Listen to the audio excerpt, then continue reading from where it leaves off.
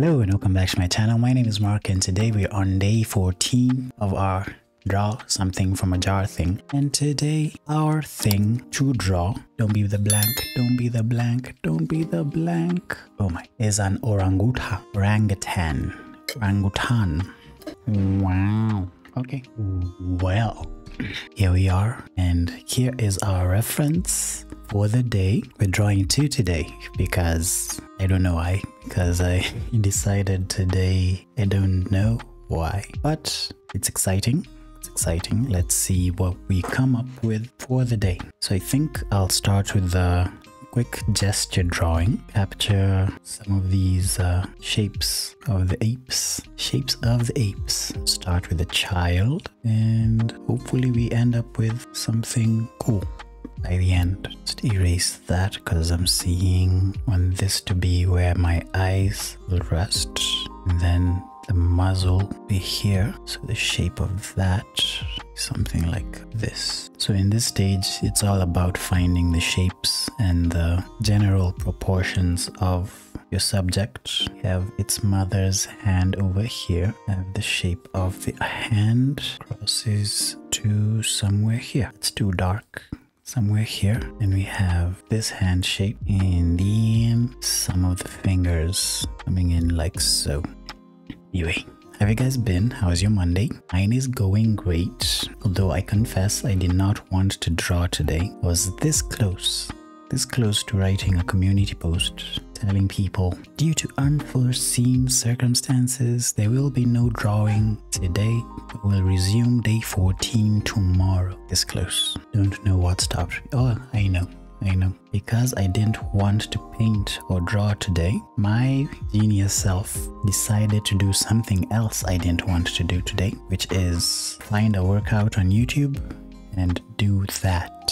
So just because I didn't want to do one thing, I had to do now two things I didn't want to do. But I did complete the workout and because the workout was completed, I told myself now, since you've done that, that thing you didn't want to do, you will do this other thing as well. It's more or less the same. And that's why we're here. I was also tempted to like go through my, my jar and find the easiest thing to draw today. This close. But as I told you in another video, I am not a liar.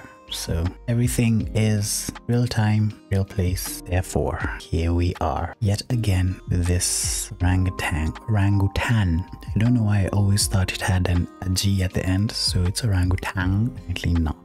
So this is the gesture of the wooden panel they're sitting on. This reference will be available in the link in the description so that we can draw together if all we are drawing together. I'm happy to report that the Discord has a logo that I did not design, sadly. I wanted to, but I decided to use a template on Canva. It's there to help me. It's there for a reason. I'm learning I don't have to do everything. I can let some things be done by others. So let me just zoom out this is our quick gesture of the animals. If you wish, we can do something like this for the eyes, where the eyes are placed. This one has some half moons in the mouth.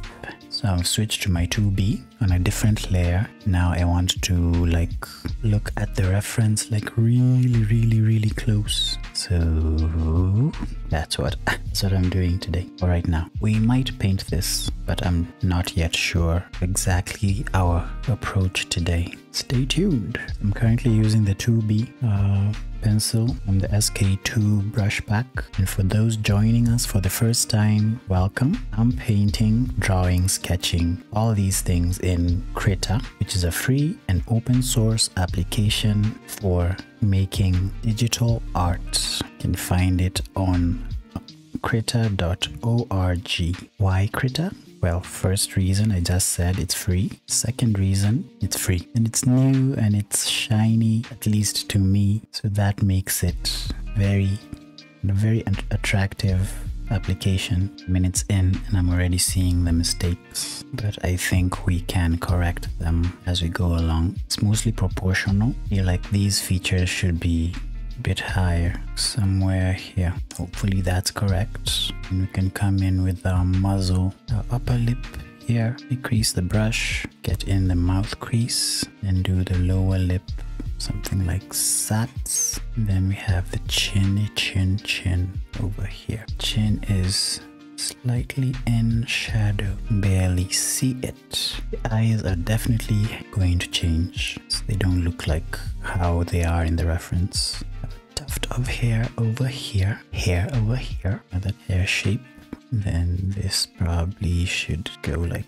this a sparse hair thing here and then another tuft of hair. Oh, that's nice. Sort of looks like those uh, museum things of Australopithecus and Homo erectus. And we have the baby, big baby. Baby's brow ridge starts here. It makes a circle makes another circle over here. Then I'm looking at the eyes like sort of some half moons. I think I did that justice, but it's okay. It's okay. And from there, sort of this skin fold and another distance in the nose and nostril goes like this, which makes the mouth go much lower than our, in our gesture sketch. So the nose starts here, muzzle goes like this, and cut this, and then our upper lip will be here. Shrink the brush so we get the crease. Then we get the lower lip by just adding in the shadow of the lower lip as the upper part of the lower lip is being lit by the well, by the light. So some parts of my gesture will have to move. So if I go to my gesture layer, I can do something like this. Put it there. So that this hand, it goes from the shoulder, bicep. Oh, that's wrong. That's wrong. The shoulder is here. I have a bicep over here. And I'm looking at this negative shape.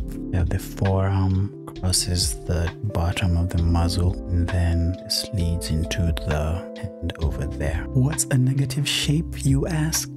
Well, you might have not asked, but because we are slightly educational parts of the internet, I will tell you. A negative shape is the shape between two well, positive shapes. So for example, this is my hand. You even see this. Let me check my camera. This is my hand. The positive shape will be the shape my hand makes. The negative shape is this part. The space is in between my fingers and this space and this shape over here. So if this were a silhouette, the negative shape will be anything that does not make up the actual thing you're drawing. So in our reference, this is the negative shape I'm referring to. Also, this could be a negative shape, but mm, not really, because it does make up the mother's body. So something like this also is a negative shape and so on, etc. That concludes our slightly educational bit of the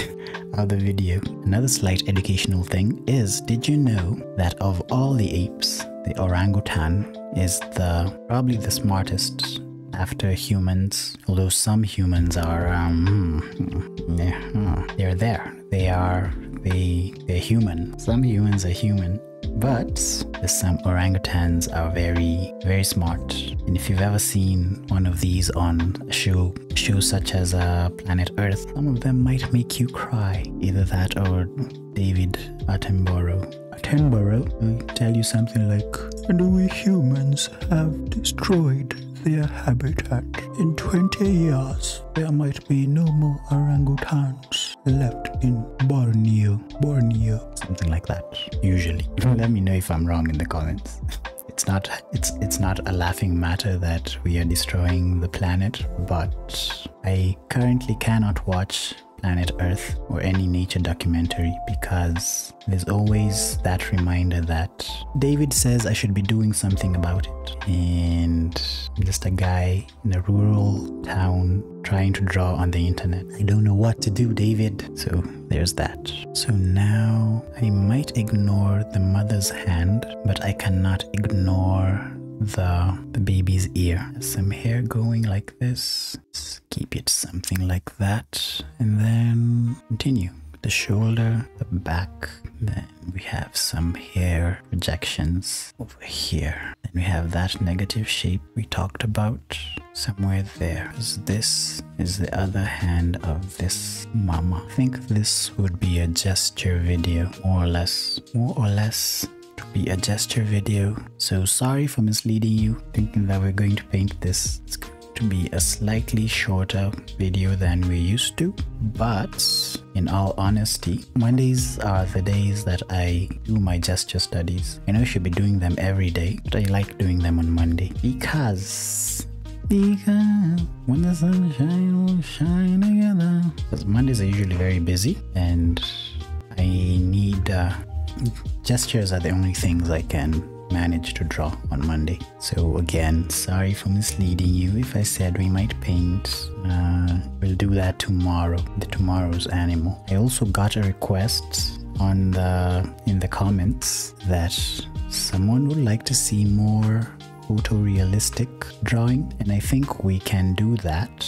but probably very very late in this game like in the final vi- vinyl in the final piece, I can try and uh, make it like a whole day thing, record the process. I might not talk as much, but I can I can try and do a finished uh, illustration for the last one, although I don't know if it will take us a day or two. That's something. Maybe on a layer on top, I can try and a bit of shading, especially the very dark areas. The brow, bigger brush for the hairs. So we'll keep these in one group. And just to so we don't have a really really short video we can do another one. So let me look for another reference. I'll be sure to add all the links to the references in the description. We'll probably need like two or three more two or three more real quick. Yeah so these are some other references. We'll do again two or three more. If we have time we'll do all of them. Little baby so a gesture for that, maybe hide this. I like this one. It's a SK Tube flat gradient. I I will look for where I got this in case you're interested. Try and retrace my steps link this brush back in the video description and start with this light gesture. It's just the flow of the hair. And then we have some more hair in the shoulder over here. And the neck in and connects like this. And the other shoulder over there. We have the eye over here. It's like a little cartoony piece of hair. It looks, it looks nothing like the reference so far a bit of negative space down here and then the hand comes in like this it's eating some sort of nut this one is difficult this one is difficult find a way to finish this so let's go back to this one this uh 2b brush to look at this a bit more Just include a eyelid over here and our eye socket. The eye is a sphere, it's a bit white at the edge. Then we have something like this. Then we have the nose. And I think this is where I was going wrong. But this part should be somewhere here. So this exercise is really useful when you want to practice your proportions like me. Ideally, according to most people, most uh, artists you'll find on YouTube and beyond, they say that gesture drawing should be like really quick. But sometimes I disagree with that because I feel can do gestures way you want, as long as they are readable, which is the main essence of all of this anyway, that the figure be readable. That's enough for this one. Put this in his own group. Go to the next one with this guy, this swinging guy. Back to our gesture brush. Oops. Oh my gosh. Ooh, forgot to breathe for a moment. So, this guy swinging from the tree. I hope my editing will not uh, remove most of this uh, drawing. But since I wasn't talking, I'll try and put this as a time-lapsey bit. Wonder whether this disc-like shape of the face serves any like purpose in its survival. And remember David saying anything about the shape of the head. Temptation to leave it like this is great. It's great. It's overwhelming. Overwhelming. I am succumbing. I am succumbing to the temptation. Yep, that's enough. It's enough for this particular ape. Maybe let me give him the rope he's hanging from. And he has no fingers because I refuse. Give them to him. Okay, there. Some rudimentary fake fingers but no toes. Stop doing that. I keep saying no things and then I keep adding those things. Okay, he has some toes. That's enough. That's enough. Stop it. Stop drawing. Okay, it's like my brain is refusing to work. Okay.